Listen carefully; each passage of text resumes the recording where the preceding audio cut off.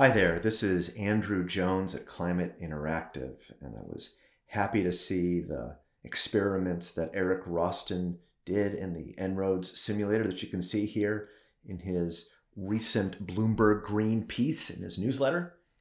And I uh, wanted to show you a couple things of what scenarios it created, how you could recreate them in En-ROADS, the free online simulator that we built with Climate Interactive and, and with MIT Sloan Sustainability Initiative. And also some of the interesting graphs to see, assumptions you can change, some explanation of why you get the results that you do. So let's play with some of these uh, scenarios that I created. The main one was the new zero carbon electricity source. And the way you create that is you just click right here and you can see the growth of a new zero carbon electricity source. And I'm I hit the replay button and you can see the orange area grow on top of coal and oil and, and gas and blue there and renewables, bioenergy and nuclear. You see it grow and importantly, you can see the other areas shrink. You can see less coal, oil, and gas. How much? Well, look under here under primary energy demand for coal. You can see it succeeds at keeping coal in the ground, keeps coal emissions out of the atmosphere. It actually improves air pollution as well. So it succeeds at keeping some coal out of the air. Let's look at gas, natural gas, methane gas. Provide the test, you can, you can see how new zero carbon electricity crowds out some natural gas. It doesn't really address much in transportation without accompanying electrification, which we can test later. So it doesn't do much with oil. Oil demand doesn't change very much. We can, well, let's just do it right now. Why not? Well, if we add in electrification, then they really work together well. That was a side note. Okay, back to the main test. If we have new zero carbon electricity, it succeeds at reducing carbon dioxide emissions you see them falling. You can see overall greenhouse gas emissions falling here in the 2040s. And then temperature drops 0.2 degrees from 3.6 to 3.4. This prompts the question why? Why such a modest impact from this new supply? Well, we did give it a really good chance to grow. I'm going to look at what our assumptions were. We can see that it grows really quickly. It does take 10 years to commercialize, then it shows up in the market 18% below the marginal price of coal. Let's look and see where that, that price is. Uh, if we look here under prices, you can see the cost of electricity. You can see the orange line showing up here in 2022 is the year I think it arrives, but it's 18% below the cost of coal in brown, and it drops to about 70% below following the economies of scale reinforcing loop, where every doubling of cumulative installed capacity of this new supply reduces the cost 20%. Price drops down, down, down. It is incredibly inexpensive. Why then doesn't it provide more of a benefit to the climate? And it does grow fast. I'll show you a few more statistics. This growth, uh, it grows 158 fold in its first 20 years after reaching one exajoule of supply. When comparison, nuclear power grew sixfold in the first 20 years after it reached one exajoule. So it's not because it's not growing fast. It is because of three reasons. The three reasons are the first is just the delay. It is not until the 2040s that we really see this significant cut in greenhouse gas net emissions. And because it's not until the 2040s, we get that result that you saw quoted in the article, where we looked at cumulative emissions. We can see that by 2050, it cuts it only modestly from there, let's see, from this number 3617 down here to 35 0.49. That is the only 7.5% of what's needed to get to net zero, the avoided cumulative emissions required. So it takes a long time. That's reason number one. Reason number two is it is eating into other zero carbon supplies and competing with other zero carbon supplies. Noticed renewable final energy consumption is lower in this scenario. So we have zero carbon electricity eating into wind and solar and probably also into uranium. Let me, I haven't looked at the nuclear one. Oh, it's tough to see there. I'm gonna look at primary. Uh, does it eat into the nuclear? Yes, it is also competing with and crowding out nuclear.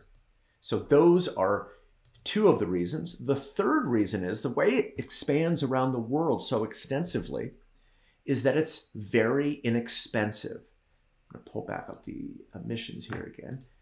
It's very inexpensive. That's why it spreads around the world. If it's inexpensive, the overall cost of energy goes down, and that erodes some of the incentive for energy efficiency, for conservation. Low prices lead to a little bit of a rebound effect, a little bit of a Jevons paradox, where the final energy consumption goes up a little bit, as Eric Roston quoted in the article. That's the third reason that we see such a modest impact. Now, there are different changes that we could make to test this, different sensitivities that we may want to explore. I'm going to pull back up the uh, near zero carbon supply. One could imagine that instead of the breakthrough being in 2022, it could happen later this year. I don't know, this fall here in 2021. The commercialization time could be even less. Five years, the cost relative to coal could be even less. We could get a little more growth. We also could imagine a different assumption for the progress ratio. I mentioned the progress ratio at 0.8. That is uh, right here, the quote, let me see where the supply, excuse me, the references. We took this number from uh, Junginger et al., these studies here. But what if it's not 0.8, but the uh, improvement happens and uh, we have a 30% improvement with every doubling of carbon or 40%. Maybe that would lead there to be faster growth. Still, this conclusion seems robust to various assumptions. Okay, the second test that was done uh, really explores some of the role of carbon price. I think they mentioned a $100 a ton carbon price. And I want to point out the contribution that it makes that's particularly important. I'm going to bring back the, uh, and it has to do with the timing of the effect. Eric Roston quoted $100 a ton. Why is it effective? We'll see. There's a change to $100 a ton, bringing you from 3.6 all the way down to 3.0. And the key structural difference is the timing. If we assume there's a carbon price soon, it avoids emissions here in the 2020s, in the 2030s. It helps sooner. We need to pay attention. When do we avoid emissions with various policies? Another policy that was explored was the role of afforestation. The best graphs to look at, I think, are these. I'm going to reset the model. This graph on the right shows land use CO2 emissions and then on top of it, energy CO2 emissions from burning coal, oil, and gas, F gases, methane, and N2O. Anything below the zero line will be removals.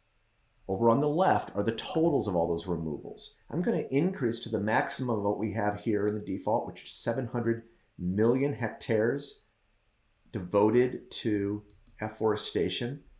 It leads to removal of 6.4 gigatons of CO2 per year, but not until the 70s, 2070s, or 2080s. It doesn't bring down the temperature in Celsius 0.1 degree. It does change the Fahrenheit. I'll run it again and we'll watch that it brings it from 6.6 Fahrenheit to 6.4 if we were to see that result. You can see land use CO2 goes from positive to a net uh, removal, a small area of removals there out in the second half of the century. Why? Why is this? Primarily because it takes so long, partly to plant the trees and find the land, but mostly it takes a long time for trees to grow and for photosynthesis to pull carbon out of the atmosphere into the trees and then into soils. Perhaps that time could be shorter. One could explore that instead of 10 years overall to find the land, it could be less, and that increased the uh, green area. Notice it, it hopped up sooner. I'll run it again. You notice here in the 2050s, it's doing a bit more. Maybe that the planting time is a little bit less. So maybe I'm to decrease it down not 30 years, but down to 10 years. That led there to be a little bit sooner removals from afforestation, but not enough to make a big difference on temperature. It's just way too delayed. Maybe there could be a lot more land. You could go and change the assumption for how much land there is, get up to the point of a trillion trees here. Maximum land could be more, leading to a maximum removals of 11 gigatons, but that would be a lot of land. How much land? We calculated it. It's important to think about the effect on equity, the effect on people, food prices, who lives on this land right now, to think how much does it add up to? This is all the land that would be required for the afforestation. You can see here the area of India. What is this? Two and a half or so Indias. This would be a lot of land. I'm going to remove those most optimistic assumptions, send us back to where we were before, and then test the last test was to add technological carbon removal. I'm going to undo afforestation and then explore these five types of removal. Eric Roston really moved the lever all the way here. This is incredibly optimistic for carbon dioxide removal in that there's no choice between all five of the types, between bioenergy carbon capture and storage in purple, and between that and biochar, agricultural soil carbon, direct air capture, and mineralization. This is saying, what if we enact all the policies and succeed with the middle point of what the Royal Society estimated could happen, all five of them, not ch- choosing between them. You know, it could be higher, it could be lower. If we explored these maximum carbon removal settings, we could increase or decrease or increase, but still, what we're getting in this case would be 0.3 degrees The afforestation, it would be more. The area under the zero line is that silver area, silver gray, is the total being removed, which is still relatively small compared to what's going into the atmosphere, which is above the line. There are important comparisons that would need to be made as well to the scale, what we're really imagining here. One comparison that we did was to imagine if just for the mineralization, that's crushing rocks, spreading it on agricultural land. How much are we talking about? The silver line shows that it is about double the scale of current coal production in the billion tons bulk material moved per year. This is a very large industry to get that removal.